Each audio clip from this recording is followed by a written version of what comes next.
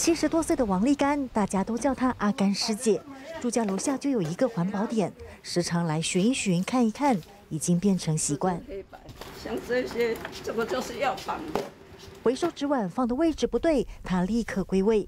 废弃的书籍也要事先整理好。他很尽责任，就是要保重身体，啊，才能继续做慈济。我们会鼓励他多吃一点啦，哦，他，怎么吃？少量多餐。法亲关怀带来温暖，病痛考验着他，有肝纤维化的问题。五年也可以啊，我赶快把事情做一做啊。不怕生命倒数，只烦恼没有尽力把事情做好。即使回到社区，想的也都是环保工作，回收的资料要减掉各资，这样的小细节他注意到了。阿甘师姐从年轻帮人定做衣服，到现在还是有订单上门。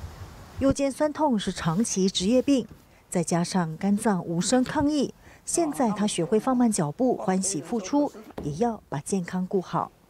大爱新闻中部综合报道。